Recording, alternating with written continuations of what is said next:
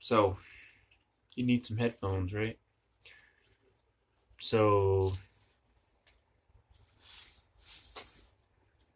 I mean, headphones are a good thing to have. You don't want to spend a hundred bucks.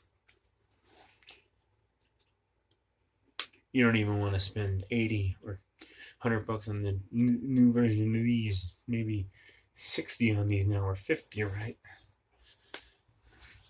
Some sub thirty dollar earbuds. Walmart. onn is the name of the company. Well, onn is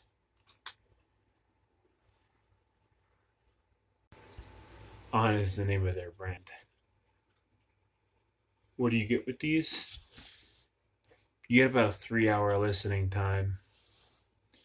You get the douchey look.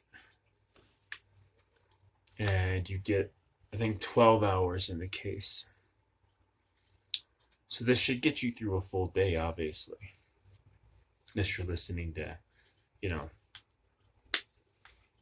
music for 15 hours out of the day or something. This does not have quick charge, I don't believe. But what it does have is an affordable price tag. It only takes about half an hour for these to charge anyway. 24 bucks. Okay. Get a little case. It's micro USB. Um, it's micro USB, and they sound fine for the phone.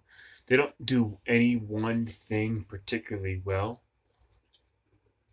but they do all basic things pretty well. You know what I'm saying?